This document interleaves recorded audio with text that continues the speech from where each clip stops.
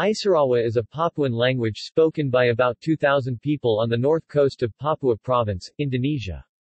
It's a local trade language, and uses vigorous. Stephen Wurm 1975 linked it to the Kwerba languages within the Trans-New Guinea family, and it does share about 20% of its vocabulary with neighboring Kwerba languages. However, based on its pronouns, Malcolm Ross 2005 felt he could not substantiate such a link, and left it as a language isolate. The pronouns are not, however, dissimilar from those of Orya Tor, which Ross links to Kwerba, and Donohue 2002 accepted as a Greater Kwerba language. Pronouns The Isirawa pronouns are Ross.